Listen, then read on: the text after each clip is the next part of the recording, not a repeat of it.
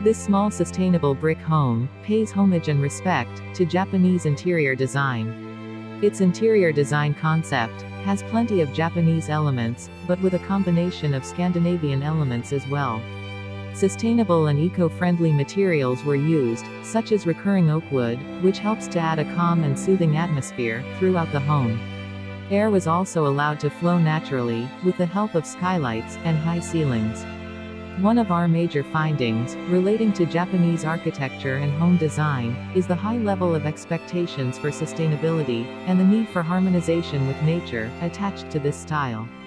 Japanese architecture and design is also becoming the newly sought after alternative to Western and modern architecture. Leading us to the question of whether or not Japanese interior design and architecture is truly natural and highly sustainable,